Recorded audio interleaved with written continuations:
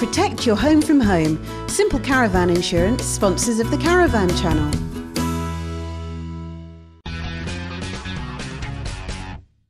And now we're going to visit Town Farm Campsite, which, amongst other attractions, has beautiful views over the Vale of Aylesbury.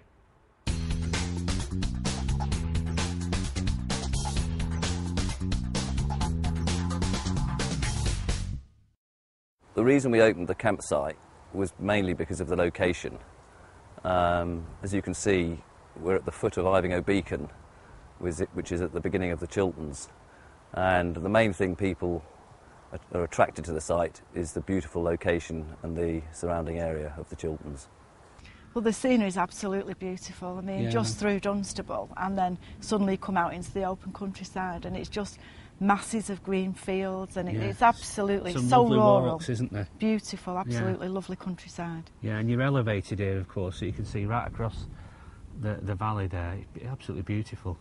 Well, we overlook the um, Aylesbury Vale, which has the Grand Union Canal running through it, and uh, people enjoy walking along the towpath, um, visiting the pubs along the towpath, and also taking um, boat rides uh, on the canal.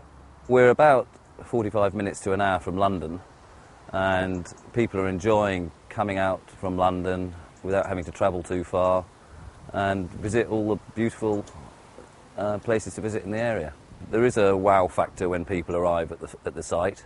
Um, they think they've got to go to the coast, um, but with the uh, rising cost of petrol, uh, people are enjoying the fact that they've come here um, without having to spend a lot of money on fuel. It's so easy. You just come off the motorway. I think it's the M1, junction 11. From from our end, from yeah. Manchester, you just straight just off, and you're in here straight It's one away, road yeah. through um, Luton, then to Dunstable, and as you get to Dunstable, and you're out in the countryside. Then it's open countryside. It's it's absolutely beautiful. The walking is a key attraction. Um, from the campsite, you can walk to the top of the beacon behind me, uh, and from there you can walk up onto the woods at Ashridge. Um, there's a beautiful tea room beside the monument. Um, not only that, you can walk down to the canal, uh, the Grand Union, and there's uh, pubs along the canal, and even ride people are taking um, boat rides. Well, what we've done is we've we've put in hookups with um, hard standing for the caravans and the motorhomes.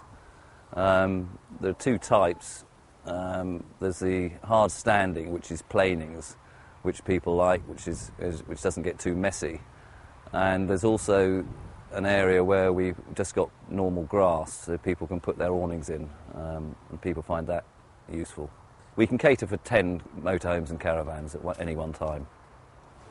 Well, when we opened the campsite, the first thing we had to do was build a shower block.